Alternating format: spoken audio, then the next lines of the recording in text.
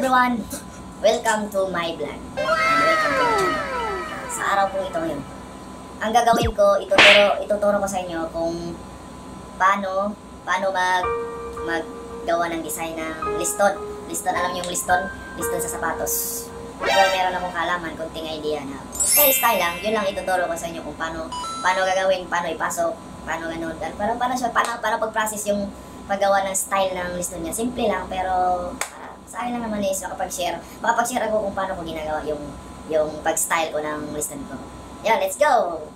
Ah, papakita ko sa inyo, sa inyo yung sapatos na gagawin ko. Yung original na yung original na setup niya, so design ng liston niya is naka-X. Naka-X lang yun, naka-X, naka-ganon, naka-ganon. Pero ipapakita ko, ito yon ito. Ipapakita ko, ito yung original niya na, ito yung original niya na ano, na design. Kung paano yung, yung ano niya, yung seating niya. O, tingnan nyo, naka ano lang, naka, naka-X, di ba? Naka-XX lang, X. Kaya ngayon, ang gagawin natin sa naka-X nito, ang gagawin natin ay ano, i, ano natin, parang straight lang siya. Straight pag ano na pag ano, lahat. Yun lang, ituturo ko sa iyo kung paano siya ipapasok. So, siyempre, ang gawin natin, ang una natin gagawin is tatanggalin, tatanggalin yung ano natin, tanggalin, tapos mag-umpisa tayo hanggang sa dulo ng walang hanggang. okay, lahat na.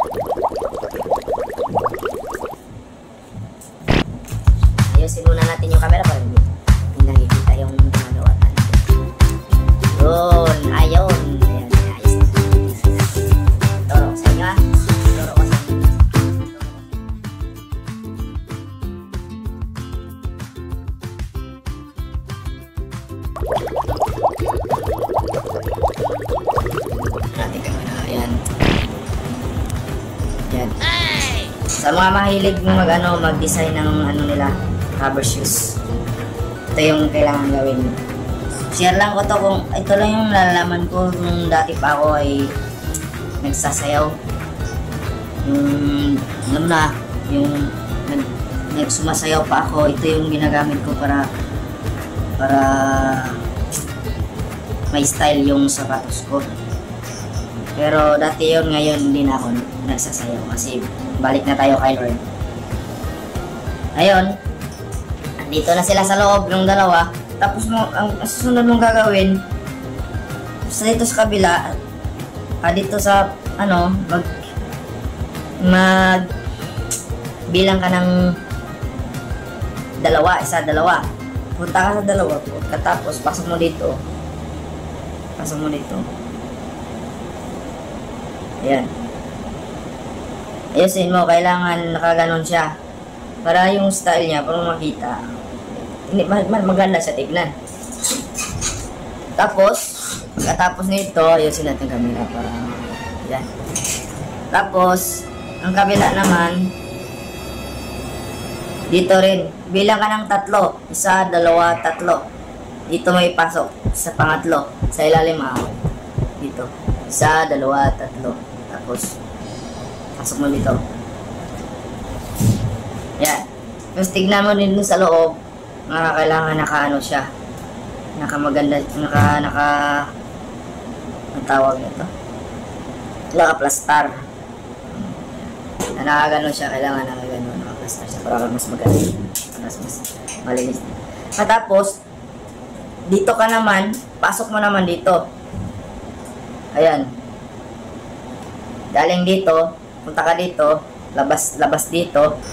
Tapos dito ka sa taas ka. Punta ka dito sa taas. Ayan. Ayan, makita nyo guys. Pa, tapos dito, pasok mo dito. Ayan. So, oh, dalawa na siya. Ganun na siya. Doon ka sa pangatlo.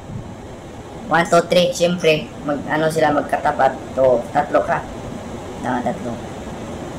Yan. Yan lang guys. Yan lang. Yan lang ang gawin nyo. Pag maumpisahan nyo na yung umpisa, magka, makapag-start ka na, patuloy-tuloy na yan. Tignan nyo lang yung ano niya, yung kabilaan niya, kung magka, magkatapat sila. Dito naman sa kabila, ayun lang din gagawin ninyo. Pasok ko din dito. Ayan. Kailangan ayusin mo dito sa gilid.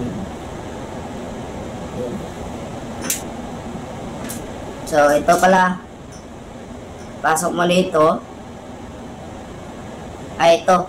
Yung kabila, dito sa pangatlo. Pangatlo siya. Ayan. Um, bilang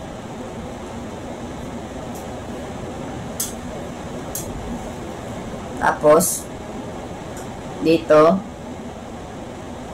pangalawa siya. Second to the last. Pasok mo dito. Kabila.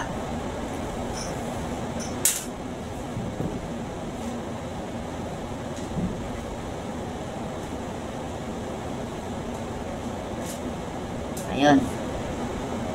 Yan. Parang mali ako. Nagkamali ako. Mali.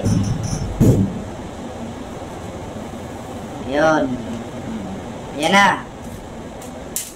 Yan na guys.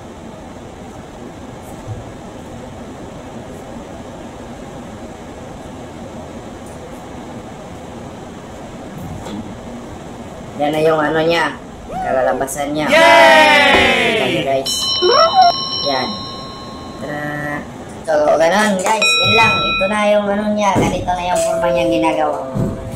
So, meron na siya. So, ganda na sa tignan. May ano na siya. May design. May design na yung Ah. may design na yung sapatos natin, yung shoes natin. Ganda na sa tignan. Wow. Ah, ayos, ayos. I hope you enjoy at may, ah, sana po may, meron kayong natutunan sa sana po meron kayong natutunan sa yung pinag-share ko kung, kung paano ko siya ginagawa.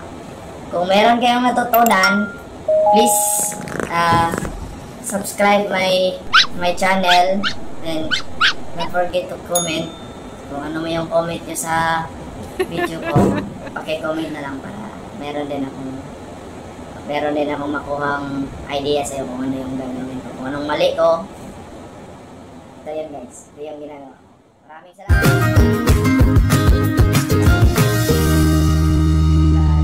God bless